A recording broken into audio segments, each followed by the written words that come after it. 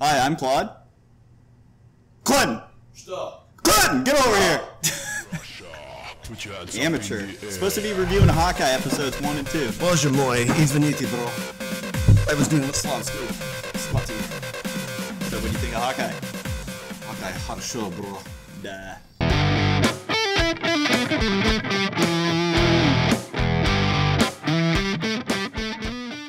Hiya, Thanos. We're the lamest defenders. I don't even know who you are. We have a small but dedicated fan base. Be sure to visit our sponsor at BaskervilleProductions.com. Hi, welcome back. So, uh, special thanks to Vitalia for the beginning there.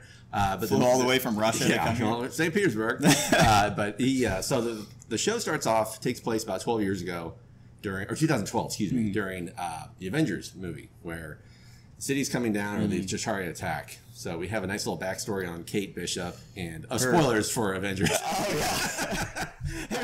on that Yeah. So uh, Kate Bishop is overhearing her parents uh, argue about money and economic downturn the country was going through. Yeah, time. and it's pretty funny too because they're in New York City and they Yeah. have this like 14 story yeah, like yeah, yeah. villa, and I was like, oh, a bunch like of least a assholes. sixty million dollar apart uh, penthouse. I was It's like, happy that need to sell the Chitauri. penthouse. Yeah, I was happy that Chitauri was uh, blowing it up and stuff. Like, what do you? What? How bad are your finances to sell a sixty million dollar penthouse in Manhattan? I was like, whatever. But uh, so, uh, as the building's getting destroyed, there was a uh, Kate comes out to this little balcony area. She sees Hawkeye Yeah. taking out some Chitauri. Yeah, it's that sequence in the Avengers movie. Spoilers again. Is when he's jumping off. and He does a big uh, hook arrow, Yeah. you know, to like go through the building. Yeah, it was really it was great. Like, I mean, actually, to see it from a different angle was really. Cool. It was awesome. But uh, so yeah, like she was so tragedy strikes, uh, and Hawkeye in the show Hawk by like complete spoilers, her dad dies. But this is Hmm. Like the first five minutes, so Right. whatever, get over it. and uh, her dad dies, and then. Um, she says to her mom, like, I have to protect us. Mm-hmm. She goes, No, I'm the mom. I'm supposed to protect you. She goes, Yeah, but I want a bow and arrow. Yeah. so so she begins her training and fast Yeah. forwards to present day. Yeah, and it was kind of cool because the intro, like the little cartoon The intro, intro was just the like, montage. Yeah, Like, it, it was it sped everything up as so a well cartoon. done. Yeah. it was great. So she uh, uh, fast forward, you got like all these trophies, like for archery and gymnastics, Every and martial art, arts, yeah. all this kind of stuff, and uh, it, and she we were introduced to her mom's beau, uh, who I guess becomes her fiance. Yeah. and mustache man. who looks uh, my uh, wife Liz kind of uh, came into the room. She said, "It looks like Paul F. Tompkins. Is one of my favorite comedians." that's all I could feed from then on. And uh, but it's a shame he wasn't in this. That would have been amazing. Anyway, Hmm. really yeah. into fencing and swords. Yeah, is, you know, a lot of little, a lot of uh, swords. Foreshadowing. Hmm. Swords are all over the house now, and um, so they go to this gala where there's like a black market auction happening. Yeah, in the basement. Yeah. yeah. But before that, we get introduced to my personal favorite character of the show so far, Armand and Armand. Uh, it's seven generations of the guy with the same name. Little A, big A. but big asshole. Yeah, yeah. And it- it's so funny because he comes up and he's like, Armand, can we go? It's like, that's no way to talk to an Armand, Armand. Like, what is happening here? Like, it, uh, uh, Kate has the same reaction that I had. It was, Yeah. it was fantastic. Yeah. I love that character. It was really good. He's like that crazy old money guy uh, from New York. It's, uh, it's Monopoly man. Yeah, yeah, it's fantastic. Um, so then uh, the auction it, where they're auctioning off Ronin's sword and suit. I don't remember how they get it. I don't even think they said. They said Kinda. maybe they like stole it from the Avengers uh, uh, mansion or something. Oh, that, yeah, that, that sounds right. Yeah. Yeah. So uh, there's a bidding war between Armand and Kate's mom's fiance. We're just gonna say fiance now to really shorten that up. Yeah. And uh, it w- goes for like four hundred and fifty thousand dollars, which is like that's so low. yeah. it's cheaper than the suit in real life to make. Probably. So then the uh, the building's uh, uh, attacked. There are this is the Russians. Yeah, the Yeah, the Russians. tracksuit mafia, Yeah. shows up. The best part was- of the fraction. Oh, yeah. So happy that they showed Chef's up. kiss. Yeah, they were so so happy they showed up. Yeah. I saw a lot of Russian names in the title crawl. I was like, yes. and uh, but yeah, they come up, they show up. They're saying bro every other word. Oh yeah, just like the comic. Uh, It was so yeah. awesome. Like just to hear him say that. Uh, And uh, so Kate is spying on the auction. She steals a suit. She puts it on. Which we got to back up a little bit about the suit or whatever. So I'm just, uh, how is this? It doesn't fit her very well. No. But which I was I was grateful for. Yeah, but it was still like, is she wearing It her tighter than it pants? been. Yeah, yeah, and then her like her hood's like way up Yeah. here and stuff. So it was just kind of funny because I guess she was just had her like waitress like pants on and her like combat boots anyway, and I was like, all right, well, I, I will say though, for that costume, later in the show, a little later, they actually show it. It looks way baggier. Yeah. So I, I guess it had to be a little tighter for the the action Stunts, set piece. yeah. But yeah, but like it is, it does look a lot baggier. It's, It's like, like, okay, bro, I'm okay. I'm okay with this. Yeah. Cool, bro, cool. and uh, but yeah, so she leaves. She kind of gets her butt kicked a little bit, Yeah. which I really appreciated. I like that she's not invincible right off the bat. yeah, she has no experience actually No. fighting. It's Yeah. all been like martial arts or Sparring, like yeah. fencing, like So I, I really appreciated that. Like they make her. I actually really like Hailee Steinfeld. Mhm. Oh, she's a great Kate actress, Bishop. yeah. I was blown away. Like she and sounds. True Grit. Yeah, Yeah, yeah, great yeah. in that. She sounds exactly like I imagine Kate Bishop sounding like Right. in the comic. A little like, oh, yeah, she sounds exactly like it. It's Mm-hmm. perfect. So I was very impressed with that. Um, so she uh, wears the suit, breaks out, and then she. Uh, I'm kind of Well, I mean, here. well, what happened was so you, you have a dog, and then I guess Oh, they, yeah, they're yeah, looking yeah. for some ring for the Avengers. Lucky, yeah. and then Lucky the pizza dog. Oh, the actually. Yeah, Yeah. it was a watch, and they grab that, and then she rescues Lucky, and then they end up going back to her apartment. yeah, And uh, pizza. yeah, and she's like, "Oh, you must be hungry." It's just like the comic. Yeah, yeah, he loves pizza. And then, um, so it turns out the Tracksuit Mafia was tracking her just based on her location. She's not a pro yet, No, so not at all. They find out where her apartment is, and then it's under attack. Yeah. And basically, um, yeah, that's pretty much how it goes. Because uh, around that time, Hawkeye rescues her. Yeah, too. Hawkeye shows up. Yeah, in the middle of the street, yeah. and then they go back to the because yeah, like a bunch of vans and cars show up. They're Yeah. they're gonna they're gonna kill her like pretty yeah, easily right about there. to steal the election. and uh, and uh, so yeah, Hawkeye rescues. They go back to her apartment and they start throwing Molotovs into the window, like Yeah. just almost building One this of them catches building. on fire. Yeah. You're on fire. You're Yeah. on fire, bro. It's like, oh, I'm not. I'm not. hurt. yeah.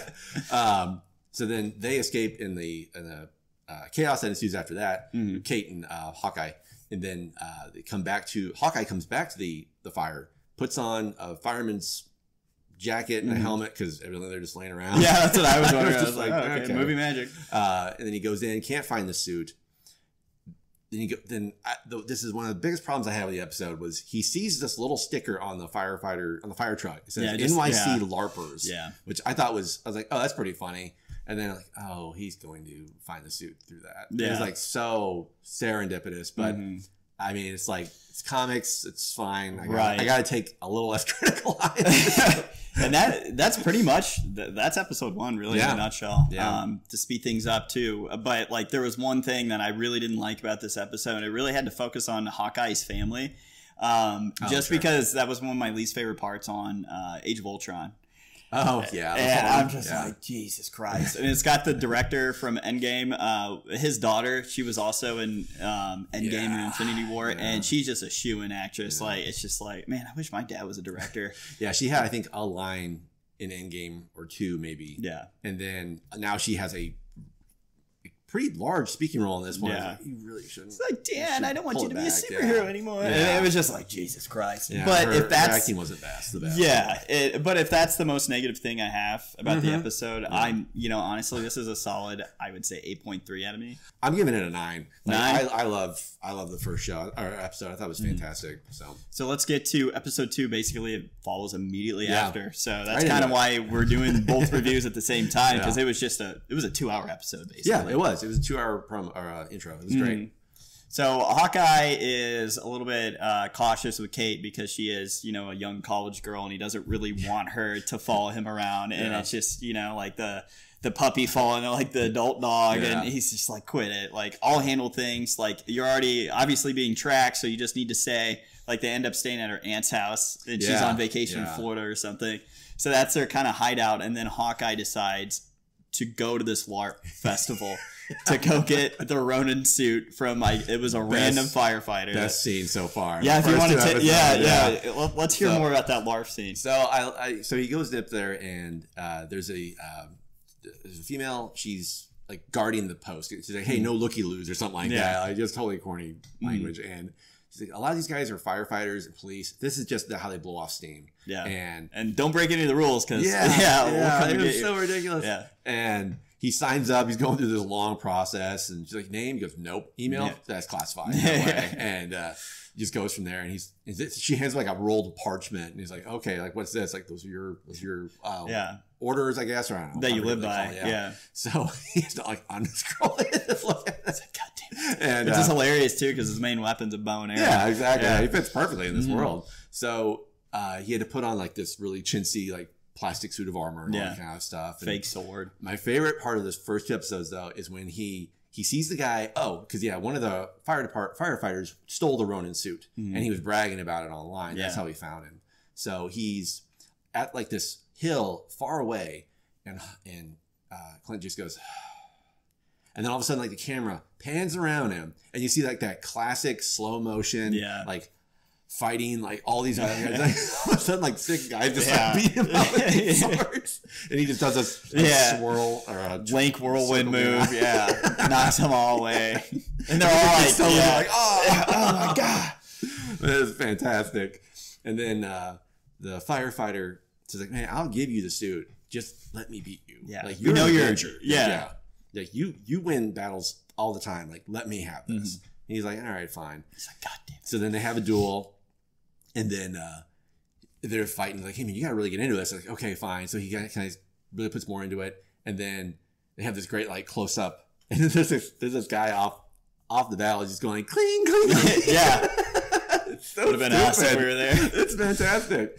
And he's like, hey, you okay? You ready? He's like, I'm begging you. Kill me. I just felt like that was the most real line in this show Right. and it was fantastic. And so he beats him and he gives him the suit back, and they move on from there. But Yeah. that was fantastic. It was such a great show, little scene. Like it was just perfect. Definitely. And then so he eventually gets the suit back and then he stores it away uh, just because he wants to clear the Ronin name because Yeah. he doesn't want people to think that there's all, you know all this crime and murders happening because of the Ronin suit.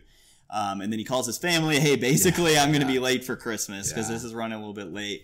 So his plan too is just basically figure out what's going on with the tracksuit mafia, and then in the midst of this, he purposefully gets captured Yeah, which is pretty funny. He's like, all right, let's just get this over with. Yeah. And there's like four of the the big, you know, like pedophile bands, Yeah, and it's yeah. like all the Russians come out, hit him with the baseball bat, and then he's captured. And this is one of my favorite parts of the entire episode too. Yeah. Is like uh, he's supposed to be getting interrogated, and uh, he's just.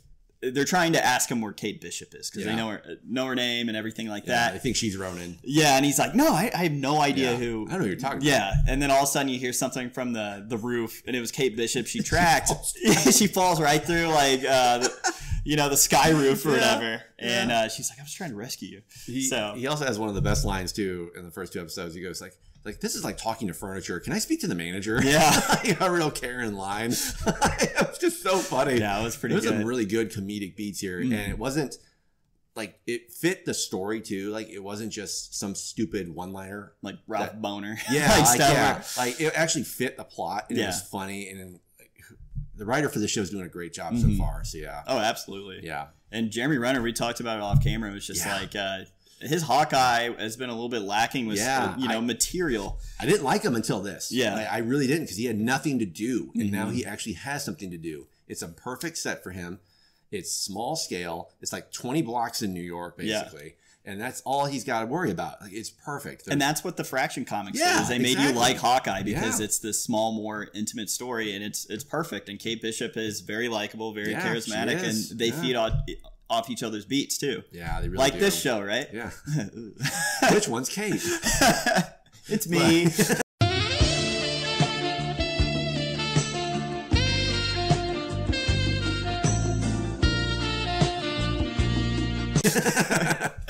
yeah, but so then it ends with uh oh it ends with like a big spoiler so they they have they obviously have both of them they have them tied up to like this uh those little like yeah, rocking thing. rods, yeah, yeah, at the mall where you put a quarter in. and there's this really actually pretty good techno music going Yeah. on and there's this this woman she's like putting her hand over the over the um Subwoofer. subwoofer Yeah. thank you yeah and he's and I was like, what Uh, the hell is this, Ivan comes in he's like we have both of them he goes bro? we have both of them Hmm. Just- all right. And then it's like it's Echo. Yeah, and then she And goes like this. Echo. uh, yeah, and I It's was so like, awesome. Yeah, yeah. it's great. So if you don't know, Echo is a big Daredevil. Uh, a big originally a villain, right? Big Daredevil. Yeah. so they um this is what I think is getting teased is Yep. her connection with Kingpin eventually because there's rumors that he shows up in the I, second I the last so. episode. Oh, I hope so. so this is all yeah, tying in. It's all coming together. it'd be- it'd be- I immediately texted you. amazing, I was like, "How big was that nut, boy?" Yeah.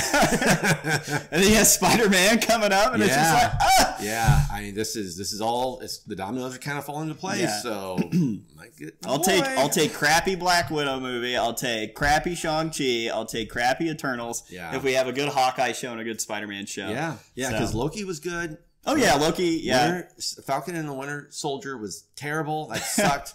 and then WandaVision was all right. WandaVision was okay. Yeah. It wasn't great. Like it, I felt like it kind of cut short of It was a good drink that fell flat. It's Yeah. like the aftertaste is just flat. But like Hawkeye, man, if like it keeps this up, it could it could actually I'm- supplant Loki for my favorite. Oh, absolutely. It's show. already up there for me. So what would you give episode two? I'm giving it a nine. Like Mhm. I'm, I'm. It's so far, it's awesome. Like I'm really enjoying the show so far. Like don't screw it up Yeah. for the love of God. They don't ever stick It's. Thanksgiving. Yeah. don't screw this Give us good stuff, not crap. But yeah, no, I'm in agreement. I thought this episode was awesome too, so I'm giving it a 9.0. Nice. Um, yeah, so catch us next week for what Episode, episode three. three episode yeah. Three of six. Yeah, yeah they're yeah, kind of buddy. they're kind of rushing through this, which makes sense that it's Kingpin because they want this out before uh, Spider Man. Yeah. Or Spider Man. So that's a big nut. We'll see. All right. See you guys uh, next week for that one. Thanks so much. Stay lame. Bye.